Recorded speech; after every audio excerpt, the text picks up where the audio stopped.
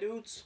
In this video I'm going to go through the most simple piece of your guitar rig and show you a few different demonstrations of how much it actually affects the tone, especially when recording.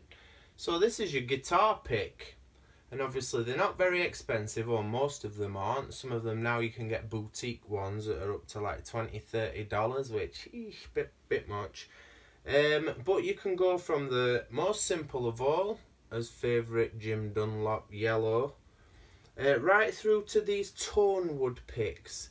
And the difference it makes when playing live and also especially recording because sometimes I've listened to some recordings and there's a lot of pick attack and it's on clean parts when it weren't really necessary. And I think if they'd have changed the type of pick they were using to a different sort of plastic or different material or thickness or thinness then it might really have changed the outcome so I personally have got a lot of picks. Uh, I think there's about 150 in there. So a lot of them are very similar and it's just ones I've accrued over the years.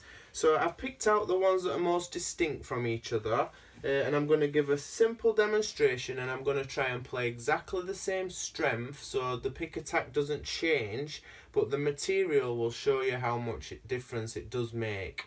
Okay. Now that's a Jazz 3 XL, which is my preferred pick. And it's made out of some sort of nylon and you don't hear very much pick attack. And I'll demonstrate that. Now this one is made out of wood and ebony in the part that hits the string and I'll show you the difference.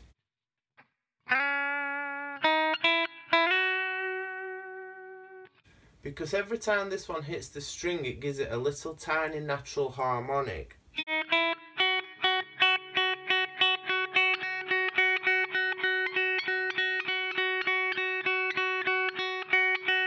It's very scrapey. Now that might be what you're after. But if it's not what you're after, then there's something like this, the uh, shark fin. These have been around for years. I remember having one of these as a kid. And this is super bendy and also very lightly brushes against the string because it's rounded. So I'll show you this one.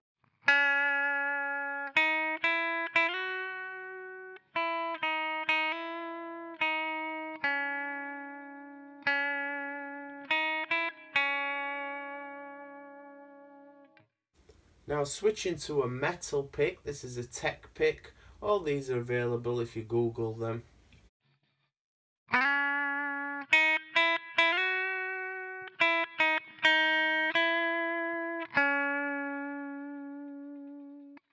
Now I've chosen this guitar. Uh, this is a really cheap guitar that I just did up a bit myself, but it's still got its original pickups in it, which are really cheap ones.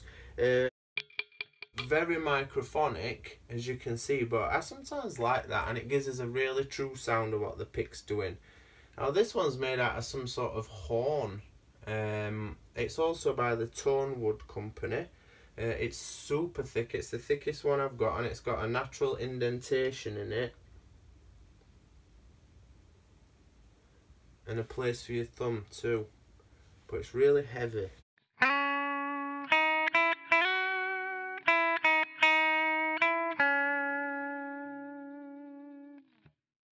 Now switching to a Jim Dunlop Prime Tone that I've dropped.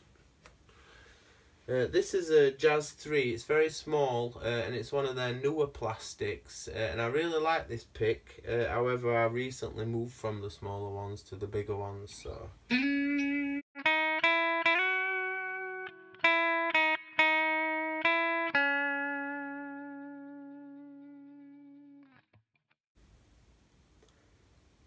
now finally the standard, which everybody can get from everywhere.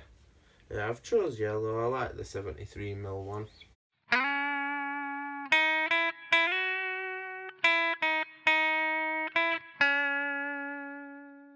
I could hear myself just sat here that the classic Jim Dunlop really picked out. I, I could hear it pulling on the string and that affects it as well uh, and obviously in your recording you might not want that scrape Uh, so yeah, I settled myself uh, on a nylon uh, XL series Jazz 3 uh, out of all these picks.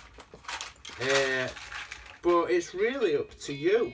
But I would recommend spending a few pounds or dollars or euros and just going through some picks and seeing how it affects your recordings. Because sometimes I'll have chosen like a really quiet part and I might be using a wrong pick. Say I've been playing my acoustic and got the tone wood in my pocket. I can hear that clacking against the string.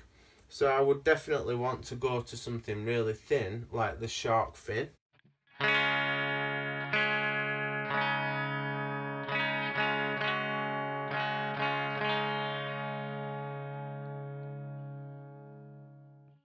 So yeah, I hope that's uh, maybe jogged your memory or made you think, oh yeah, I've been using the same pick for years.